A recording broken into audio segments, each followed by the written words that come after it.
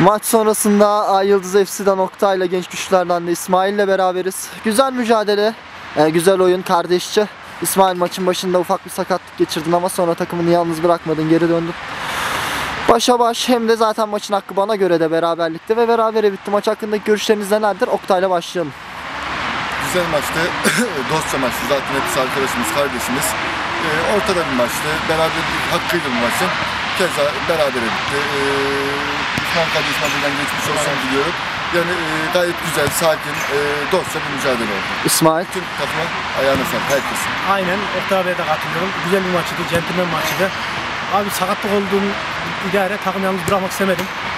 Yine topal topal mücadelemi verdim. Karşı takım da sakindi, biz de sakindik. Dostça bir maç oldu. Karşı takıma da çok çok teşekkür ederim. Bizden büyük abilerimiz vardı. Ayaklarına ve kollarına sağlık diliyorum.